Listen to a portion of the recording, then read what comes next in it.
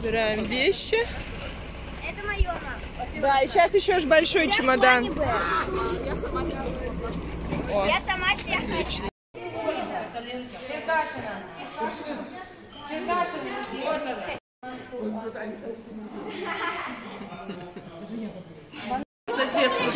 да ну сейчас, подожди.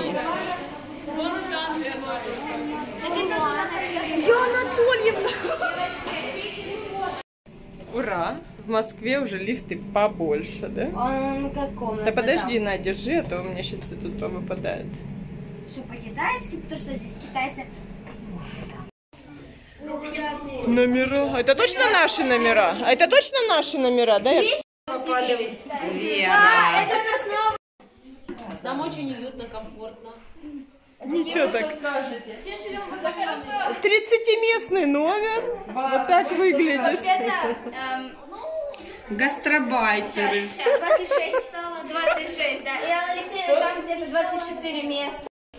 В общем, нас вроде бы заселили, но э, ключи не работали. Сейчас вот их заново э, перепрошили. Сейчас идем заселяться.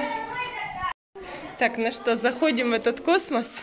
Наконец-то дверь открылась. Без, без карточки никуда не выходить. Так, ну что, тут, конечно, все лучше, чем... Тут все лучше, чем в Великом Новгороде. Ванная поинтересней. Полотенце. Привет. Так, что тут? Тапки, фен, шкаф. О, кровать даже у нас такая с антошкой.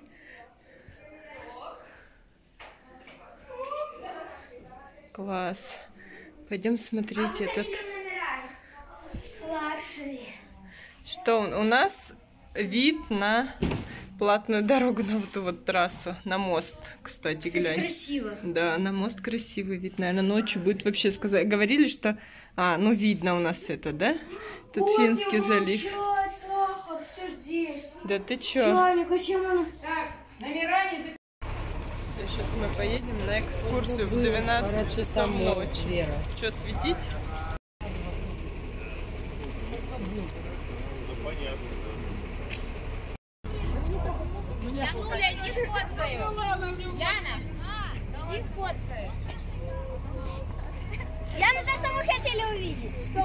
Исаакиевский собор это, да?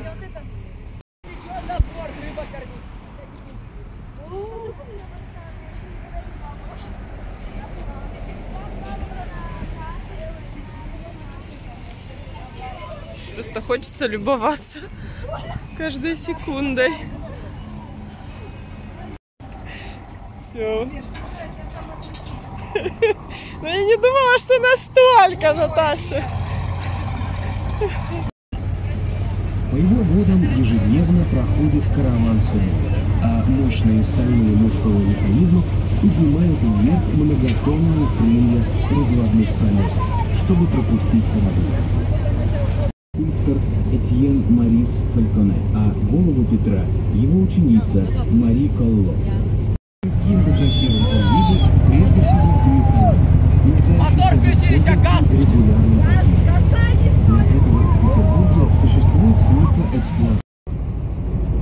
После смерти Петра I, основателя Петербурга, на престол взошла его вдова в нем первого постоянного моста через Неву.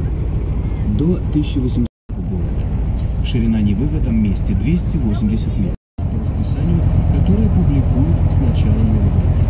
Почти все мосты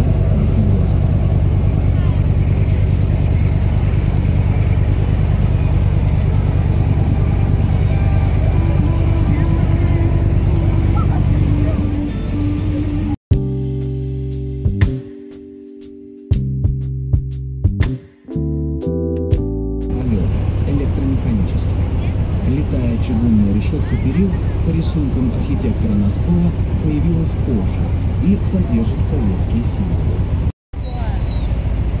Сейчас мы выходим на главную водную площадь Санкт-Петербурга. Сюда смотрят фасады зданий, где на протяжении трех веков вершилась история Российской империи. Рядом с Дворцовым мостом в огнях иллюминации мы видим Зимний дворец, который полтора столетия был официальной зимней резиденцией российских императоров. Он был заложен Франческо приказу императрицы Елизаветы Петровны в 1754 году. При Петре Первом здесь также колония. Император Петр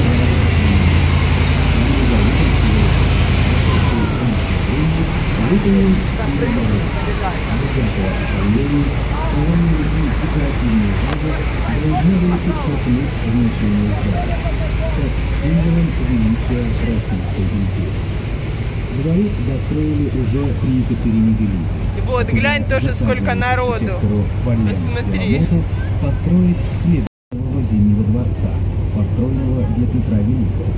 Четыре здания. Зимний дворец входит в комплекс эрмитажных зданий музея «Государственный Эрмитаж», где хранится около трех миллионов произведений.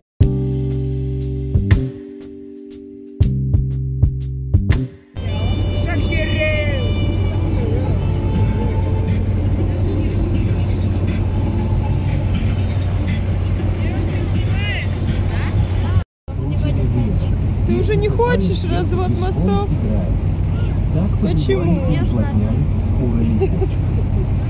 Маргарита уже устала. Конечно, уже час ночи, Маргарита. По всей длине канала Ты уже спишь? чуть отступив от берега, забивали сваи, скрепляли брусьями и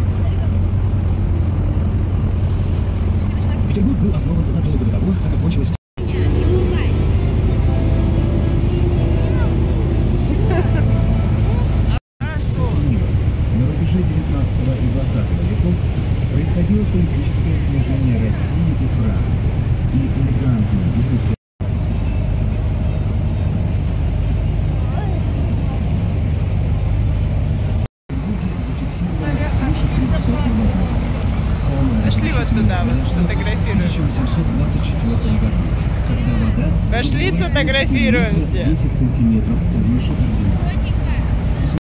Пушкин строили медный всад. Нева вздувалась и ревела. Котлом клокоча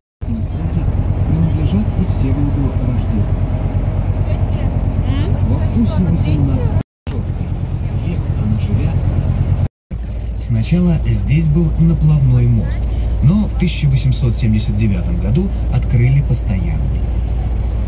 Работали ряд бревна, а сверху закрывали их досками. Такие деревянные тротуары были очень популярны в северных городах и назывались мостами.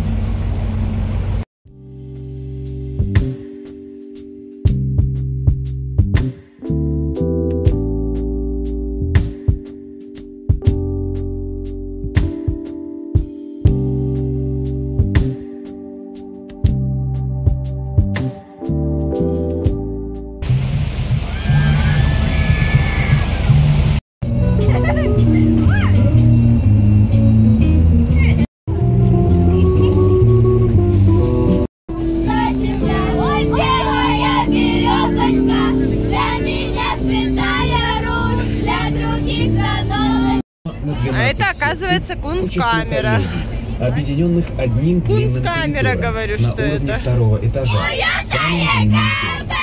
Сейчас здание принадлежит Санкт-Петербургскому государственному университету, и по А? Смотри, мост видно, как красиво.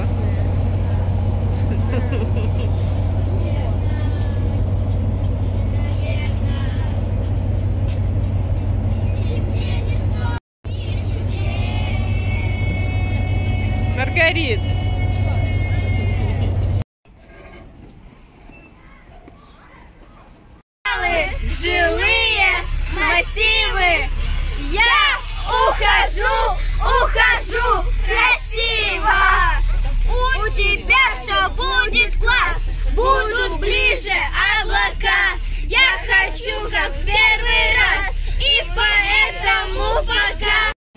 И во сколько это мы, Антош? 2.40 мы вернулись.